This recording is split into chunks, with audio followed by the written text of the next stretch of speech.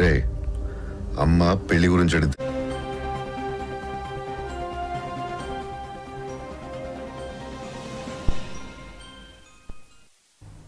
Back to news మంత్రి కోడాలి నాని వ్యాఖ్యలను Janasena incharge royal Kiran తీవ్రంగా వ్యతిరేకించారు. తిరుపతికి చెందిన జనసేన నేతలు కోడాలి నాని కాన్వెన్షన్ సెంటర్లో క్యాసినో జరిగిందని ఆయన పేరు మీద పాటలతో కొందరు చిందులు వేశారని వీడియోలను సాక్ష్యంగా చూపించారు. పెట్రోల్ పోసుకొని చేస్తాడన్న కొడాలి నాని ఎక్కడా అని నిలదీశారు.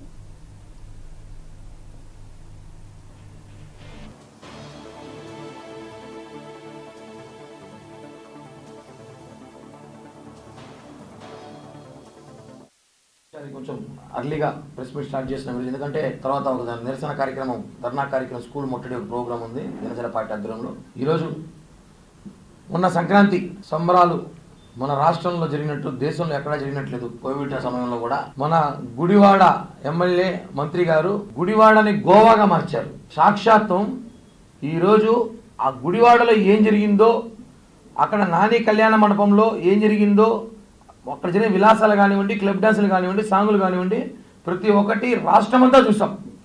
అన్ని ఛానల్స్లో వచ్చాయి అన్ని పత్రికల్లో వచ్చాయి. సోషల్ మీడియా వైరల్ అయింది. మొత్తం దేశమంతా చూసినా కూడా కొడాలి నాని గారు నిన్న మళ్ళీ నేను మాట్లాడుతూ మంత్రి గారు మాట్లాడితే ఆయన అంటే ఏం మాట్లాడితే మనం మాట్లాడి చెల్లిపోతుంది కదా అనే ఆ ఉద్దేశంతో మాట్లాడతారో తెలియదు కానీ ఆయన నిన్న మాట్లాడుతూ ఆత్మహత్య చేసుకుని వస్తా పెట్రోల్ పోసుకుని.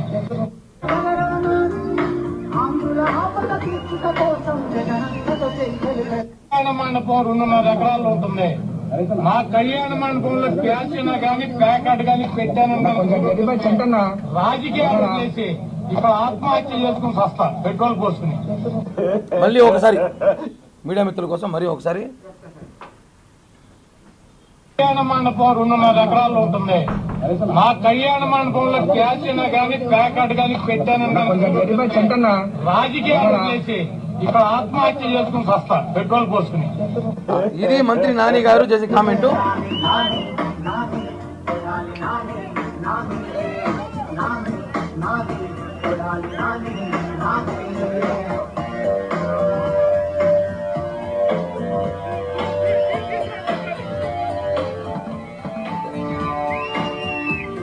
అంటే ఆయన కళ్యాణ మండపంలోనే ఆయన పేరు మీద ఇంత మంచి పాట ఎస్ఎస్ తమను దేవిశ్రీ ప్రసాద్ ఇట్లా ట్యూన్ రాదు. ఎంత అద్భుతమైన పాట పాడాడండి. దాన్ని నిజంగానే ఈరోజు ఆ పాటకి డ్యాన్సులు ఆయన కళ్యాణ మండపంలో జరుగుతుంది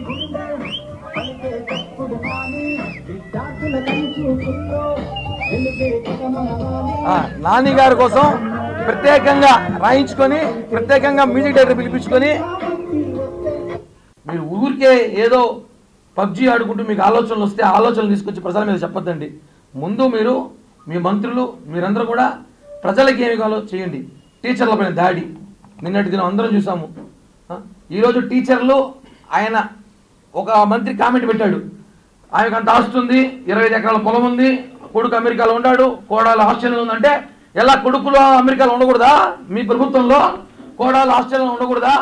ఎటు పెళ్ళిళ్ళు చేసుకుని సంసారం చేసుకుని ఇల్లు కట్టుకుని ఆస్తులు సంపాదించకూడదా? మీరు వచ్చింది కేవలం రెండు సంవత్సరాల ముందే. దాని ముందు మీ నాన్న ప్రభుత్వం ఉంది చంద్రబాబు ప్రభుత్వం ఉంది అన్ని ప్రభుత్వాలు ఉన్నాయి. వాళ్ళు ఆస్తులు ఉంటాయి వాళ్ళ తాతల ఆస్తులు ఉంటాయి వాళ్ళ ముత్తాతల ఆస్తులు ఉంటాయి. వాళ్ళ ఆస్తుల మీద నీకెందుకయ్యా? ఏ ఇట్టుకోమో కబ్జా చేస్తావా? తీసుకోదు కూడా. చట్టం తీసుకురండి. ఎవరు ఆస్తులు పెట్టుకోకూడదు. ఒక ఎకరా మీద పొలం అంటే నాకు ఇచ్చేసి చెప్పండి. ఎవరు అమెరికాలో ఉండకూడదు. ఆ, ఆస్ట్రేలియాలో ఉండకూడదు. అంతా అందరూ ఇండియాలో ఉండాలి. భారతదేశం బతకాలని చెప్పి చట్టం తీసుకురండి.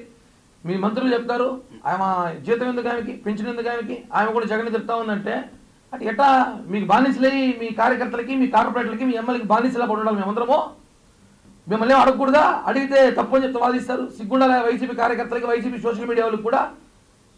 అసలు ఒక ప్రభుత్వ ఉద్యోగి ఆమె వయసు అరవై సంవత్సరాలు ఆమె ఒక జగన్మోహన్ రెడ్డి తిట్టిందో సాపించిందో అది మీకే తెలుసు.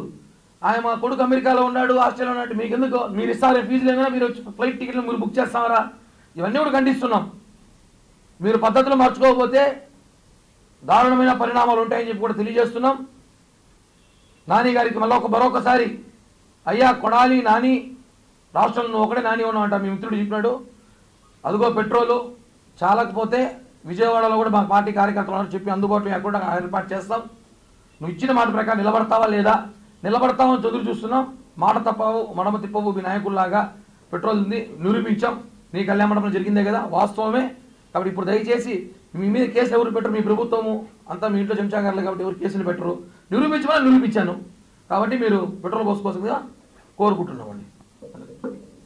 మీరు ఊరికే ఏదో పబ్జీ ఆడుకుంటూ మీకు ఆలోచనలు వస్తే ఆలోచనలు తీసుకొచ్చి ప్రజల మీద చెప్పొద్దండి. ముందు మీరు మీ మంత్రులు మీరందరూ కూడా ప్రజలకి ఏమి కావాలో చేయండి. టీచర్ల పైన దాడి. నిన్నటి దినం అందరం చూసాము. ఈరోజు టీచర్లు ఆయన ఒక మంత్రి కామెంట్ పెట్టాడు. ఆయనకు అంత ఆస్తుంది ఉంది ఇరవై ఐదు ఎకరాల పొలం ఉంది కొడుకు అమెరికాలో ఉన్నాడు కోడాలు ఆస్ట్రేలియాలో ఉందంటే ఎలా కొడుకులో అమెరికాలో ఉండకూడదా? మీ ప్రభుత్వంలో కోడాలు ఆస్ట్రేలియాలో ఉండకూడదా?